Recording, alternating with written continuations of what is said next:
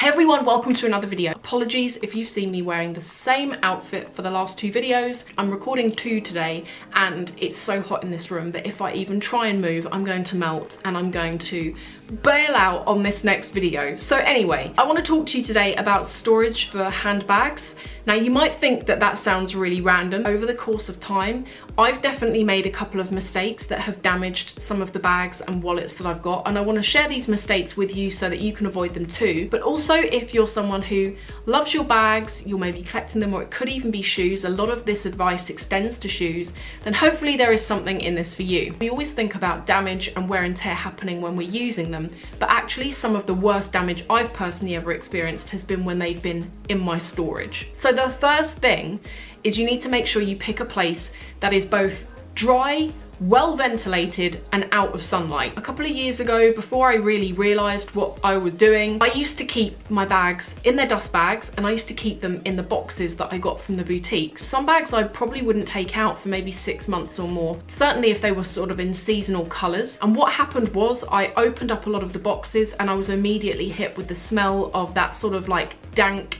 damp, borderline moldy smell. They weren't damaged. The leather felt a little bit damp to the touch, but thankfully I was able to take them out, air them. That sort of dampness went, but the smell remained. If you do live in a humid environment, then what I would suggest is find a place where you're going to keep your bags. Buy yourself a dehumidifier. You can get tiny ones. That's what I did in the end. You can buy these tiny little dehumidifiers that are really powerful they are like sucking water out of the air and you're thinking, where the hell are you getting that from? The next thing is make sure that your bags are stored in an area that has not got direct sunlight. Direct sunlight bleaches the color out of everything. Don't store your bags in the boxes that you get from the store. I mentioned earlier what happened to me, but if you think about it, when you're keeping your bags in there, there's no air circulation. It's leather at the end of the day. It needs to breathe. I bought this shelving unit. This is an item that I really like. It lets you display the bags in a way that you can see. I definitely noticed that when I had my bags in the dust bags, because I couldn't see them, you often forget about some of the bags that you've got. I got quite a big one, but you can get these from Ikea in different sizes, and I'm gonna show you one here that I've got, which is smaller, and you can also get an even smaller one that's just got four cubes. So if you have a look at the Ikea website,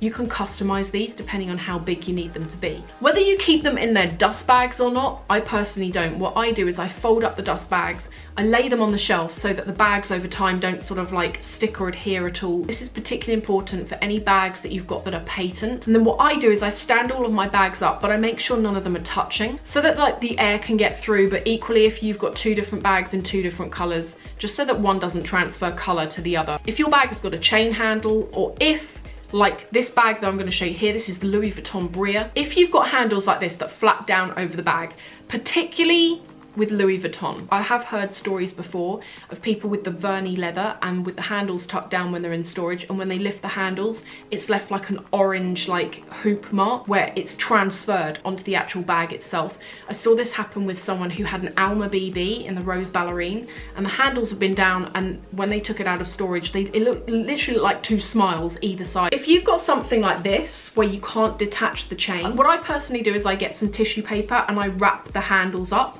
mainly for the fact of, can you see here where it lays flat and it touches the bag?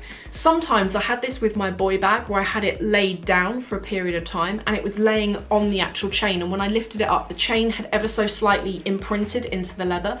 So now I know to keep the chain away from the bag, tuck it in if you can, tuck in the longest bit, but with this bit here just maybe put a bit of tissue paper. Speaking of plastic, this was another mistake that I used to make all the time. With any of the stuff that you've got, don't use plastic or bubble wrap to either stuff the bag or to keep the bag wrapped up. Maybe I'm the only idiot that ever did this, but what I used to do is if I didn't pad them, when I took them out of storage, they'd be a bit crumpled. Certainly the Louis Vuittons in any of the canvas, it comes out looking really crinkled up and it takes a few days to sort of straighten itself out. What I did with that is I stuffed it with bubble wrap. Worst mistake I ever did, particularly in the situation I was in where I was in a more humid environment. So now what I do with that instead is I stuff it with tissue paper, but I'm constantly changing it. This wallet here is a very good example of a wallet that I kept in its dust bag and it did this. Okay, so this is a deal wallet and I'm going to demonstrate this, hopefully. What has happened is the patent started to break down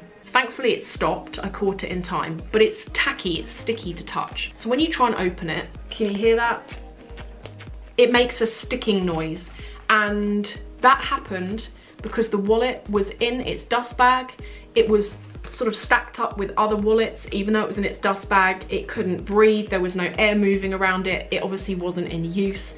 The stickiness is worse where the flap was down like that. So another thing that I now do is wherever I have a wallet that's like this I either stack them all up as you can see here but I use the little dust bags to go in between each one so I don't have them in their dust bags. Now for the final tip. Let's say you've been using a bag for a period of time, you decide that you want to put it away and swap it over for something else. One of the things that I personally find really important, and I've made the mistake of this before as well, you would be amazed the amount of dirt that can end up on your bag and you probably don't even notice it. What I do now is before I put a bag away to possibly sit there for a couple of months before I use it again, I will just clean the bag over. It depends on the actual bag and what the composition is of it as to what I'll clean it with. Most of the time I use alcohol-free, conditioner-free baby wipes. I'll also go over the bag after with a lint-free cloth just with some water on it. What you can do if you have a leather bag, and I want to demonstrate this here with my Chanel Boy,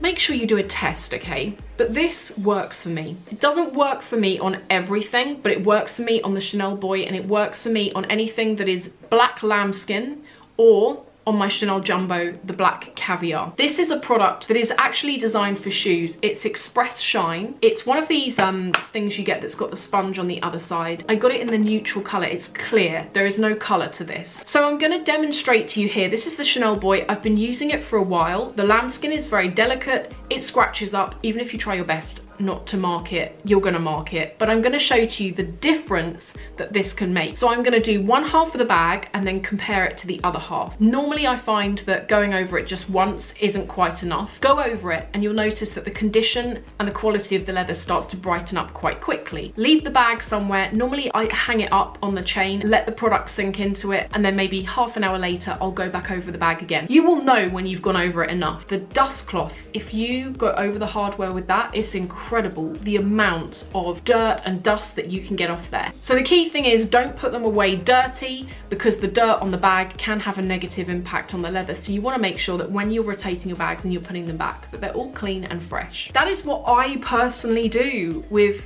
my bags. I think it's important to look after your stuff anyway, but I also do it because I think I've said before that I am someone who every so often I will sell quite a lot of my bags and I like to sell them in as pristine condition as possible just so it's nice for the next person who owns them. So for me, I just like to do this and definitely I think my learning over the year has improved. If you've got any specific questions then leave them below. Do remember if you're going to use anything like this do a tiny patch test first. That's what I did on the Chanel bag. I actually lifted the flap and did it on the inside just to make sure if I trashed it that it was on a hidden area and it worked and it made a great difference. So for me this really worked but don't do anything crazy. If you've got a bag in a light colour I personally wouldn't use this because it will prob in my mind it would probably absorb and almost go like an oil patch. I could be really wrong. Thank you so much for watching and I will see you in the next video.